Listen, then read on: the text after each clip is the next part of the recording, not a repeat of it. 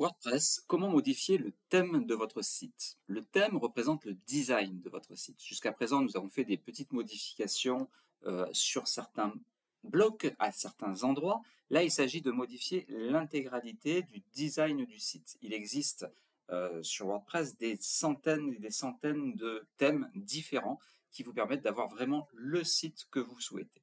Si vous voulez changer le thème de votre site, cela se passe dans le menu Apparence. Dans le menu Apparence, on a Thème. Et au niveau donc de ce thème, on va pouvoir faire des choix divers et variés. Ici, nous avons le thème 2024, c'est celui qui est par défaut.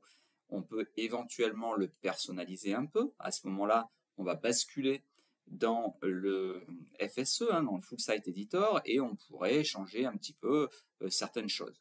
Euh, on l'a déjà fait de nombreuses fois. On peut éventuellement changer les styles. Donc je remonte, où est-ce que je suis allé hein? Je suis allé dans Style, et là on va pouvoir donner des fonds de couleurs un peu, différents, ce qui va donner un petit peu une allure un petit peu plus chaude à votre, à votre site. Mais euh, l'ergonomie ne changera pas. Si vous voulez vraiment changer l'ergonomie de votre site, à ce moment-là, euh, il faut vraiment passer par un autre thème. On va donc revenir sur ce menu principal, aller dans le menu Apparence, et aller sur thème. Ici, nous avons un moteur de recherche de thèmes. Donc là, ce sont les trois thèmes qui sont présents par défaut.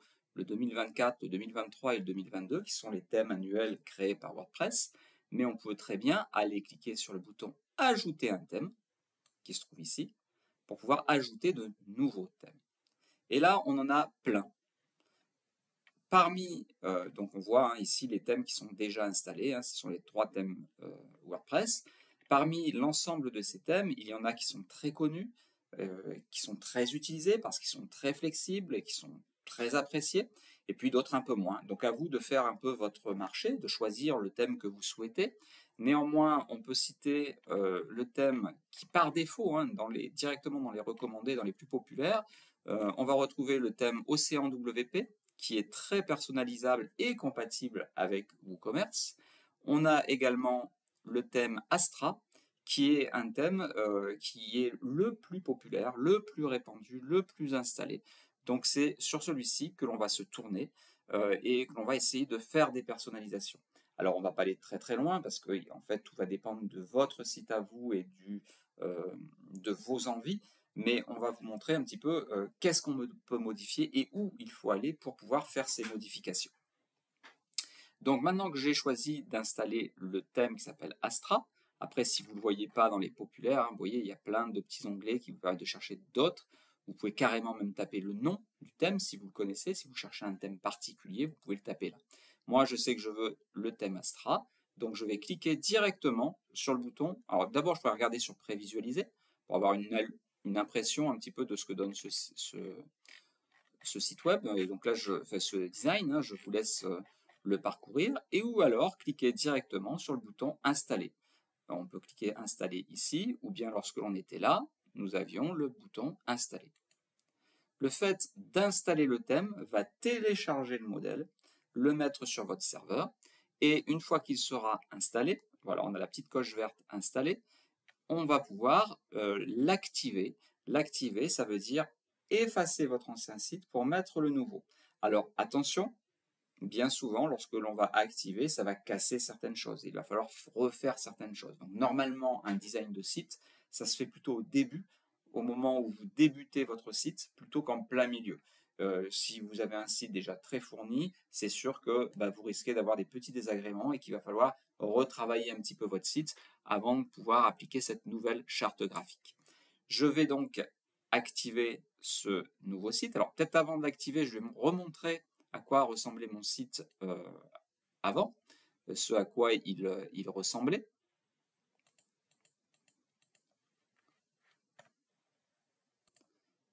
Voilà, donc mon site, alors j'ai changé le style à l'instant, je l'ai mis un petit style bleuté, donc c'est pour ça que le blanc est devenu un petit peu bleuté. Euh, voilà mon, site web avec ma page d'accueil, le pied de page que nous avons bien développé, et puis nous avions aussi sur la section blog un, un design assez, évolué qui se trouvait ici. Voilà, donc ça c'est mon ancien site, c'est mon ancien thème. Ce que je vais faire, c'est maintenant actualiser ce thème pour pouvoir... je retourne en back-office de mon, de mon site pour pouvoir changer ce thème. Donc maintenant que j'ai installé le thème Astra, je clique simplement sur le bouton Activer et l'activation du site va euh, en fait transformer mon site pour qu'il colle au modèle par défaut d'Astra. Nous pourrons ensuite le personnaliser.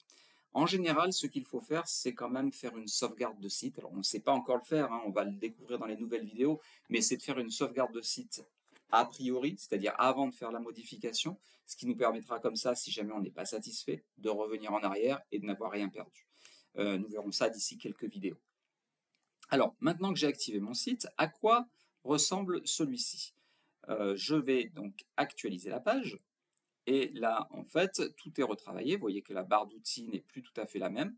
Euh, je retrouve d'ailleurs des mentions légales que j'avais supprimées euh, sur la page d'avant. Donc le menu, il a été reconstruit, mais c'est pas tout à fait le menu que je voulais. Il a conservé quand même pas mal de choses. La bannière, j'ai le bandeau blanc qui a disparu. et, mais globalement, les contenus, ils sont toujours bien sûr. Et j'ai perdu surtout mon pied de page. Le pied de page que j'ai mis beaucoup de temps à construire, eh bien, je l'ai perdu parce qu'il ne correspondait pas au modèle Astra. Alors, que peut-on faire maintenant pour pouvoir euh, améliorer, modifier euh, ce, ce, thème? Alors, pour faire des modifications de thème, en fait, il faut retourner sur le back-office du site. Et sur le back-office du site, alors je retourne dessus. Alors, je ne sais plus où il est, c'est celui-là. Non, c'est celui-là.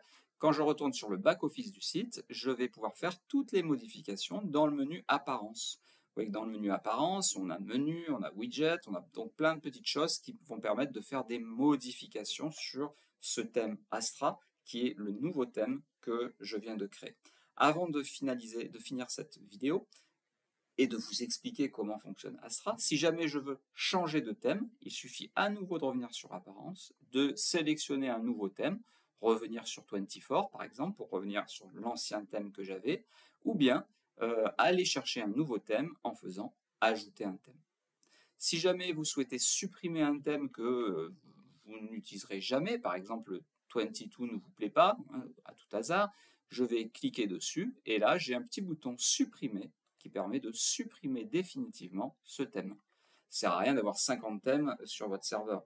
Euh, vous l'encombrez inutilement. Alors ça peut être utile d'en avoir deux ou trois, hein, quand il y en a un qui ne marche pas, on bascule sur l'autre, mais pas en avoir 50 quand même. Voilà, donc euh, nous avons euh, vu comment installer un thème, nous allons voir maintenant comment utiliser ce thème Astra, comment personnaliser ce thème Astra dans la vidéo suivante. J'espère que vous avez apprécié cette vidéo. Si c'est le cas, n'hésitez pas à la liker. N'oubliez pas surtout de vous abonner également parce qu'il y a de nombreuses vidéos sur WordPress. Et euh, si vous voulez être tenu au courant des nouveautés euh, et des avancées euh, que je fais sous forme de tuto, et eh bien surtout, n'hésitez pas à vous abonner à la chaîne. À très bientôt